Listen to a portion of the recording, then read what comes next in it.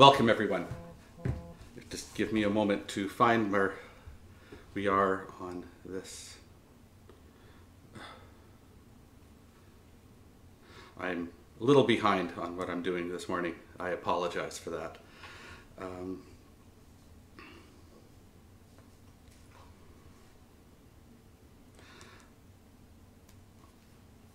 there.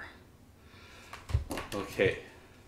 And I just wanted to bring it up one more place. Just in case.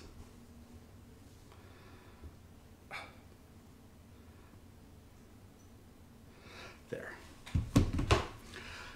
Welcome. I apologize for that little delay um, as I get myself organized. Um, I'm Reverend Warner Bloomfield, and I welcome you to this this worship service this Sunday morning here on Facebook Live. Um, I am the minister at Grace United Church in Dunnville, as you I'm sure know since you are on our our Facebook page for this. Um, as we be, prepare for our time of worship, we do take time for announcements and for sharing of any information. So, for all those who are joining us this morning, I would uh, welcome you to put anything you wish to share or any any announcements you wish to make in uh, our comments section uh, for this. And as we do that, um, we take time to hear this uh, Ministry of Music from Gail Squires.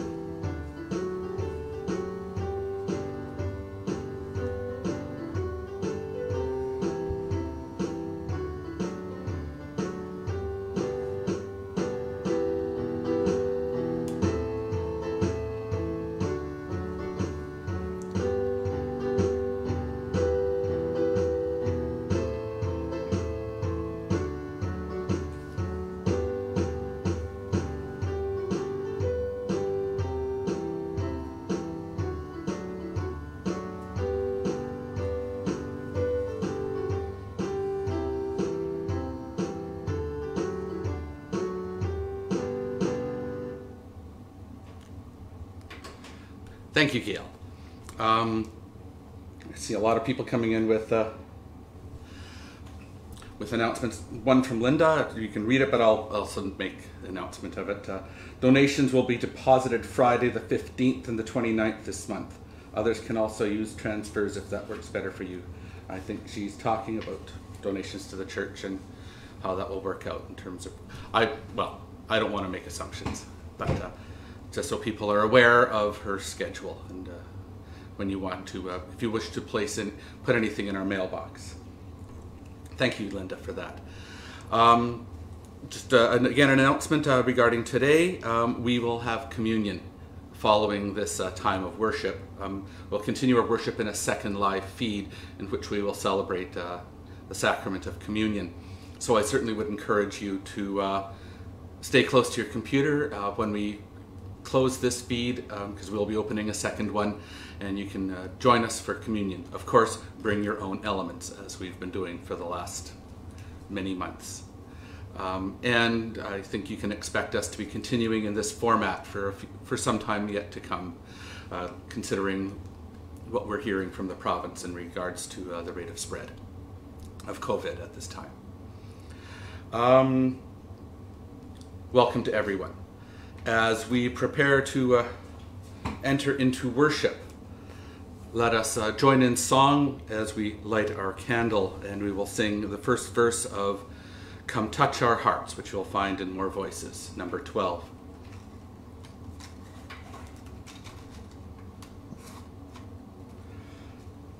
Come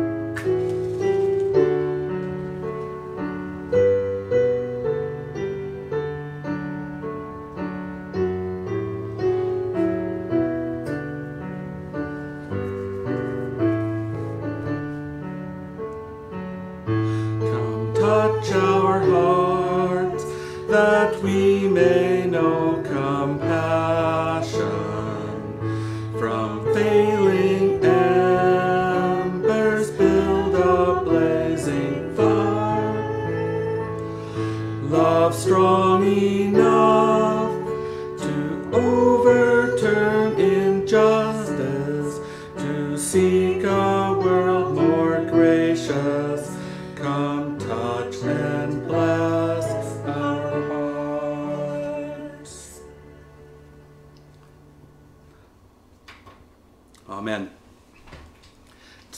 call to worship today i say we have come once again to be in the presence of the baptismal waters so that we may be reminded that God's love seeps into our lives, washes away our fears, and pours forth for all people.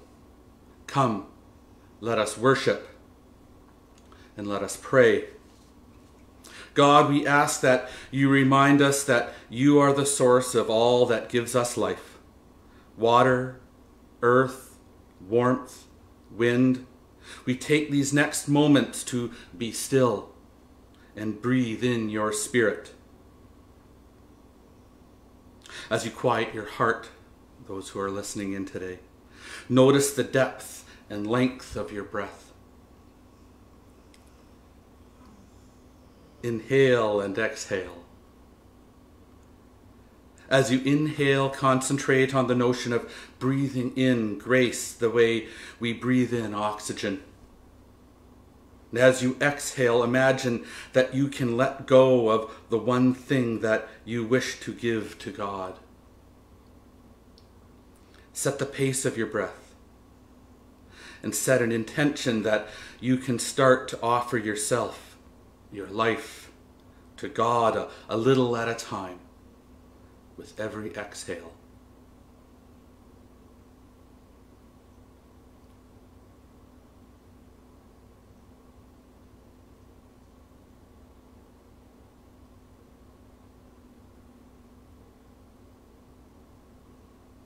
Amen. And now let us join in song once more as we sing I Was There to Hear Your Morning Cry, number 644 in Voices United. And Ellie's going, oh dear.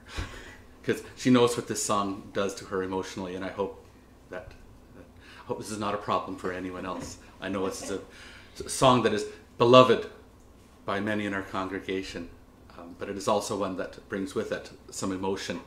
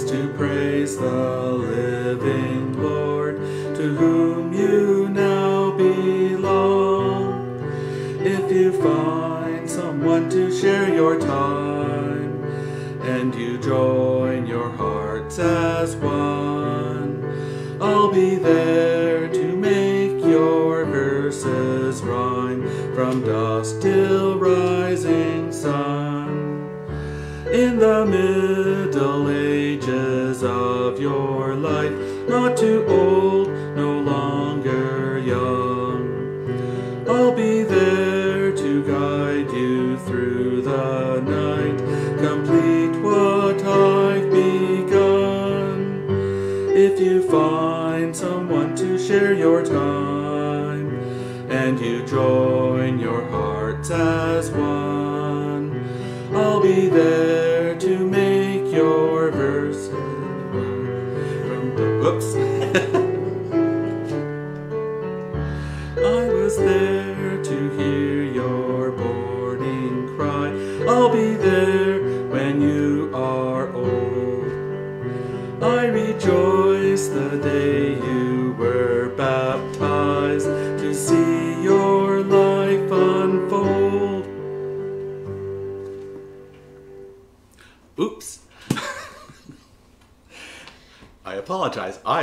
lost my place as I was singing. I went back to where I was before. Oh well. I hope everyone enjoyed that and listening to me.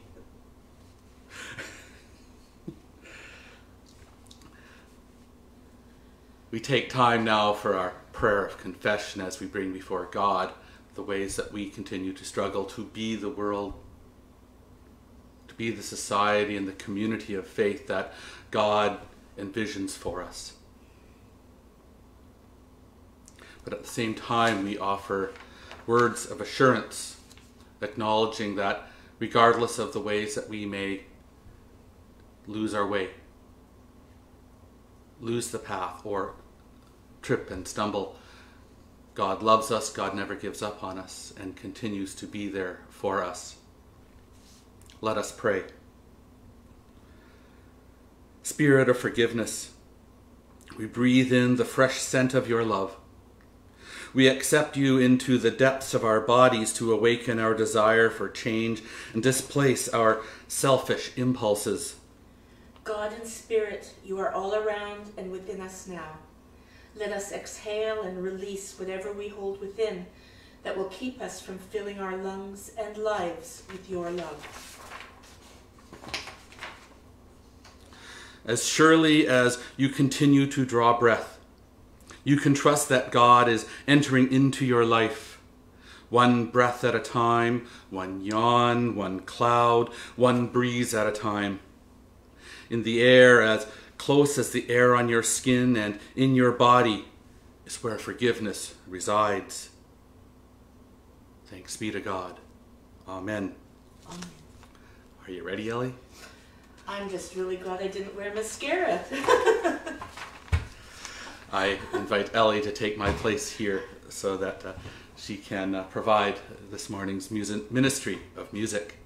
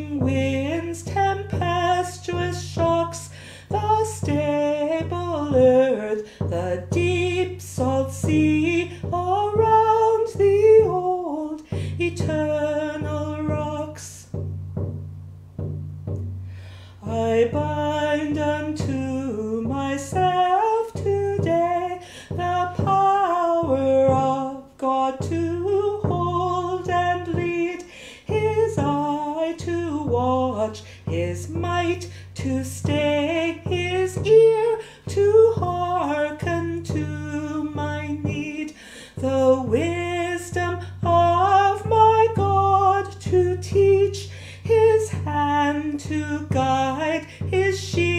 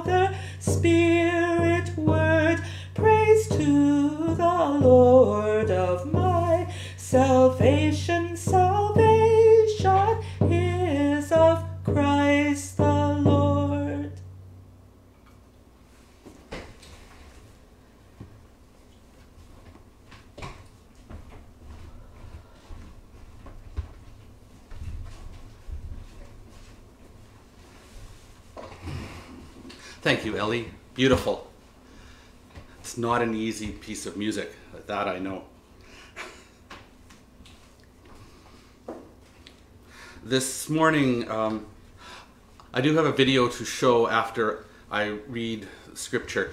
We're going to be trying something a little bit different for the next several weeks. Um, there's, we've got uh, these letters that have been written, shall we say, um, part of the uh, part of the uh, service resources that I have. Um, these imagined letters in regards to passages of scripture we'll be reflecting on. We have one of those this morning that's been per- and it's been videoed and uh, read by by Roger. And For that, I thank you, Roger. Um, but before I do that, I wanted to read the actual scripture, just so people know what, where we're coming from. And so this is from Mark one, chap verses four to eleven. John the Baptizer appeared in the wilderness, proclaiming a baptism of repentance for the forgiveness of sins. And the people from the whole Judean countryside and all the people of Jerusalem were going out to him and were baptized by him in the river Jordan, confessing their sins. Now John was clothed with camel hair, camel's hair, and with a leather belt around his waist, and he ate locusts and wild honey. He proclaimed, The one who is more powerful than I is coming after me. I am not worthy to stoop down and untie the thong of his sandals. I have baptized you with water, but he will baptize you with the Holy Spirit. In those days, Jesus came from Nazareth of Galilee and was baptized by John in the Jordan. And just as he was coming up out of the water, he saw the heavens torn apart, and the Spirit descended like a dove on him. And a voice came from heaven You are my Son, the Beloved. With you I am well pleased. May these words be blessed to our understanding. And uh, I now turn things over to Roger for a few minutes. A letter to John the Baptizer based on Mark 1 verses 4 to 11. Dear John, I'm writing with the utmost appreciation for your work and admiration for your courageous work. There is no doubt in our minds that you are a gift to us because of your great leadership and spiritual wisdom. This is precisely why we need your help to settle an argument in my household. You see, we've been living peacefully enough, if a bit disconnected from the more faithful of our friends and family members. When we began to hear stories about Jesus' teaching and authority, we became curious. One day, we heard he was going to visit the Jordan to see you. We had heard about you from friends who had been baptized by you, so we thought we could renew our friendship and perhaps bolster our faith if we were to visit you when Jesus was also visiting. So we decided to try and match the dates of our visit with the time we heard he would be visiting you. On our way, we began to reflect on how much we hoped you would be the prophet who would help us understand the prophecies that caused us so many arguments in our home. When we arrived, we were caught off guard by the chaos of the crowd. People were agitated when we thought they would be calm. You had people worked up. When we finally caught sight of Jesus, you two were arguing like old rabbis. I must admit that brought me little, a little comfort. I've seen Sadducees and Pharisees argue. You don't have any passion in their voices. Your conversation with Jesus was different. You were both energetic. My wife and I laughed to see you two argue like the way we argue. The surprise doesn't end that when you stopped arguing, you baptized him. I would have thought you two would never have reconciled as I watched you in conflict with one another. But you made amends as quickly and as passionately as you started in to argue. As you baptized him, I noticed he behaved as one of us. He was humble and at peace, as if he were subordinate to you. As we watched him come out of the water, we saw a dove descend. But it was after this that we became especially confused. I heard a voice. I know I heard a voice. My beloved, I am pleased. But I couldn't tell who had spoken. My wife tells me she heard a voice too. Until we talked it over, we thought it was coming from one of the crowd, which would have been strange enough, but then we decided it was not one of the elders nearby. We had been arguing about this question. Could it have been the voice of God? Did you hear it? Is Jesus the one we heard about in the prophecies? My wife and I are now arguing like rabbis. Please help restore peace to our home the way you restored the peace with Jesus. Benjamin. Thank you, Roger.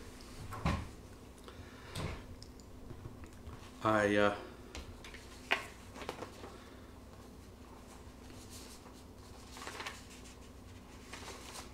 okay, preparing for my sermon now. In the letter Roger read, he notes the tradition of disagreement, often vigorous, between rabbis. There was rarely uniform agreement between religious authorities and scholars within that tradition. Argument, and I put that in quotation marks, continues to be a significant part of Jewish tradition. And it is one I believe Christianity can take a lesson from. My reflection today is one that could provoke some disagreement, and I am this morning asking several questions. Where do we draw the line between community and individuality? And what is our responsibility as a community of faith? One of the questions posed to me over the years, several times, diff- several different people, is why do we need a prayer of confession? It is fair to say people often do not see themselves in the lists of sins or transgressions that we name. It can seem like an attempt at shaming or making us feel guilty. Or perhaps such confession should be a personal matter between ourselves as individuals and God. Someone must have walked past our house. Well, perhaps. But historically and traditionally, there has been the sense that in coming to God, to listening for the word of God in Scripture and the message, We symbolically cleanse ourselves through confession and the acknowledgement of pardon. But there is more. We do this as a community. Just as we take time as a community to offer prayer and to pray for our community and the prayers of the people, we as a community, as part of the wider society, confess to that society's sins and seek forgiveness. We name the ways the society has failed or lost sight of the path to a more just and merciful community. We read today about John baptizing people for the repentance of sin. Baptism is in part a welcome to something new. It marks people taking a new direction. It is a sign of transformation, sometimes described as a new birth. Baptism is done in community. For us in the United Church, it is a symbol of formally welcoming people, often children, into our community. And it comes with promises and acknowledgement of responsibilities on both sides. I'm not even. Good. Oops. Sorry, losing my place. Anxious to get moving. it is, in fact, an example of the dynamic that exists in our world and in the church of the tension between individual and community. And where do we mark the separation between the person and the community? I'm not even going to begin an attempt at defining that line or where it lies.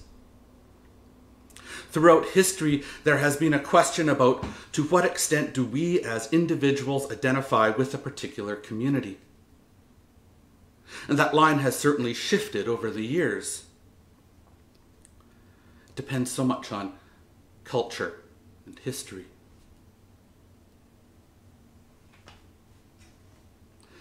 At the, at the time that people came to John for repentance and baptism, there was a strong connection between the person and the community.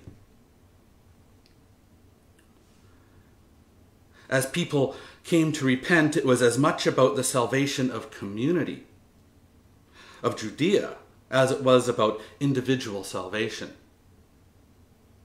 It was in part personal repentance, but also about the repentance of the society. And the, the people themselves and their part in bringing about that social repentance. And it was into that dynamic that Jesus walks. Was Jesus seeking repentance for his own sin? Not likely, from what we are told. Or as part of a society, was he acting for a community salvation? I wonder. It is certainly something for reflection. The heavens are torn apart and the Holy Spirit descends. God, in the person of Jesus, walks among the people as part of those people. We are struggling right now with the line between individual freedom and acting on behalf of the health of our community. Here in Ontario and throughout Canada, the number of people infected by COVID 19 continues to grow. Governments are struggling to slow the spread once again, and we are seeing still some resistance to those actions. I am reluctant to step into that debate with any certitude. That said, I believe we need to ask ourselves how much do my personal actions and attitude affect the community as a whole? What are my responsibilities to the community that I claim to be a part of? Is it possible to isolate myself completely from the society in which I live? And if possible, would I want to? I am increasingly of the view that we are at a point in our history where things are shifting significantly. Matters such as white supremacy and systemic racism can no longer be brushed aside or denied. Many of us have lived comfortably with a status quo that has left a great many people on the outside looking in, in terms of privilege and wealth, and having a voice and a say what is actually happening within our society. A great many people have been exploited or disregarded for far too long. While many of us as individuals can claim we, are, we were not part of that sin, we are a part of the community or the society or the country that is responsible. In order to forge new and just relationships, forgiveness is needed, and that demands repentance.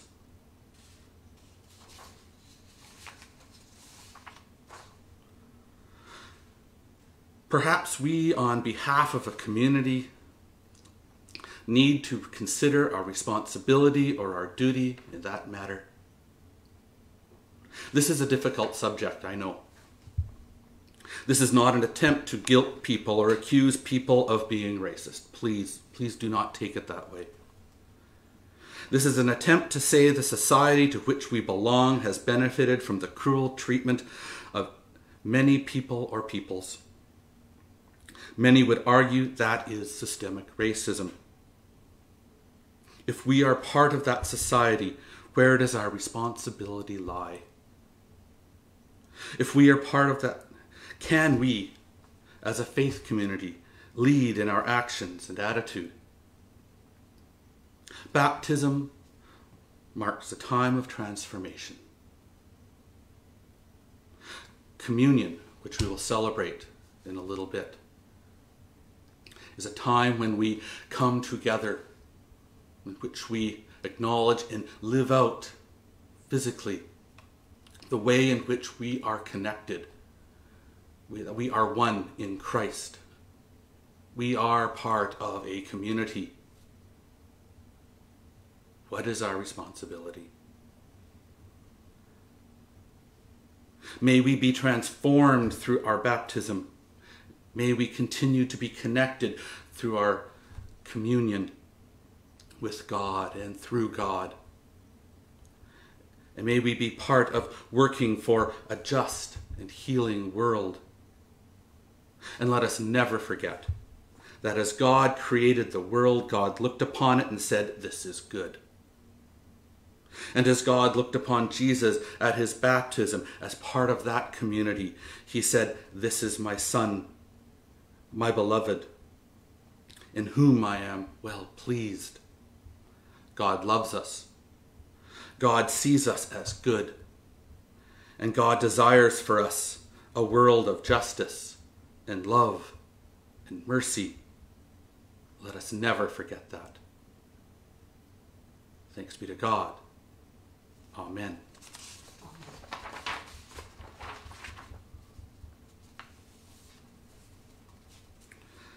Let us take time with song once more as we take time for reflection and to sing Come to My Heart, number 661 in Voices United.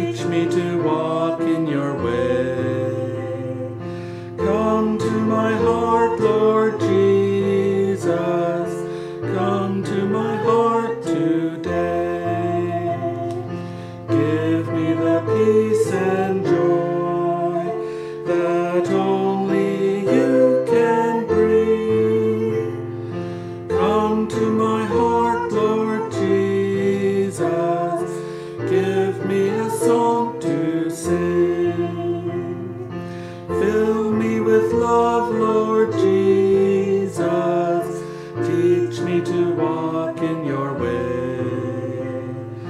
Fill me with love,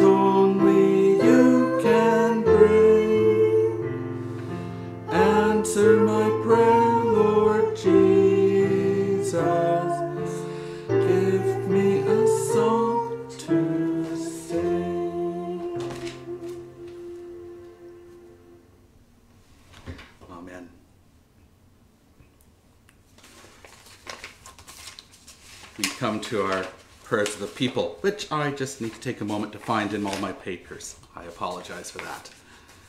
I thought it was better organized.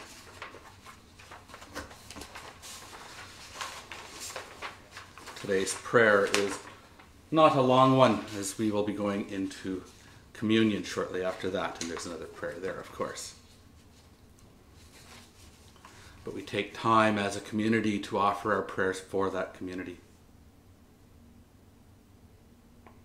We uh, offer our gratitude and our prayers of concern for those we know and love and those whom we maybe met once or twice, but also share concern, and those we just know of through name in need of God's comfort, God's strength, and God's peace. Let us pray. God speaks as we speak to one another of our joy and sorrow. God moves as we draw closer to one another. May we speak aloud of love and pain, offering up the names or circumstances that remind us we belong to one another and God. So we take time in silence to offer our prayers, either spoken aloud, typed into the comments, or kept in the silence of our hearts where God knows what we have to say.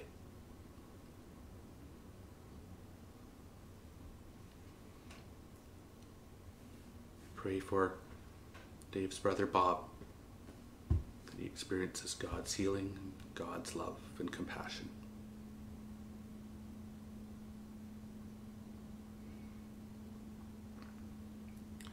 Pray for Byron House as he continues to recover from his accident and his injuries.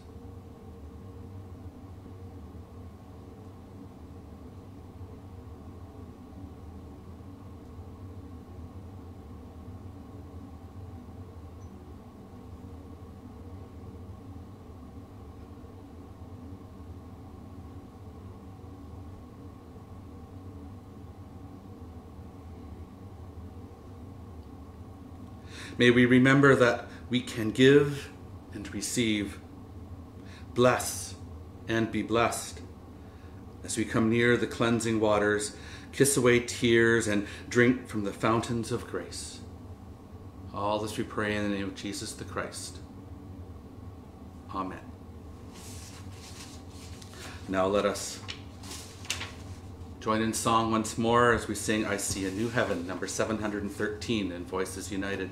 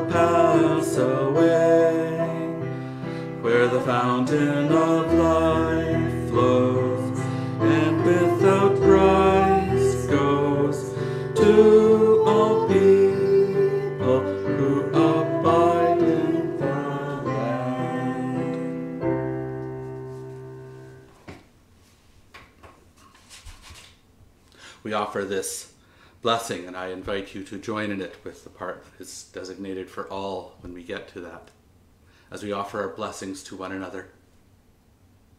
And now we share in a common practice of blessing one another.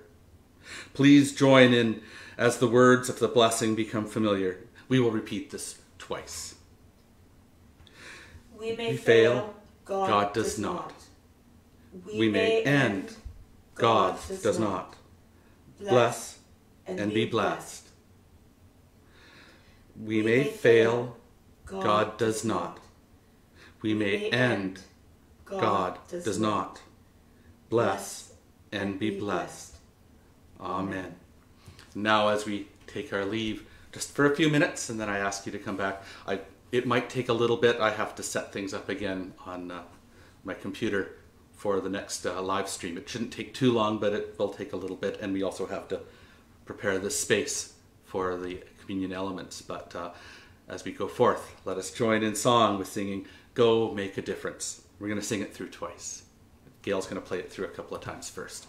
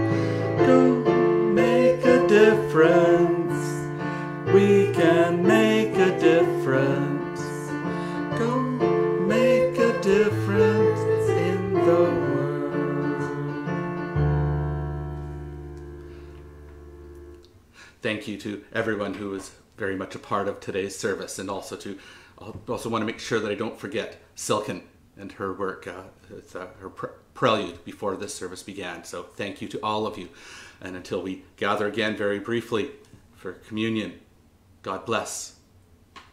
Go with God's love.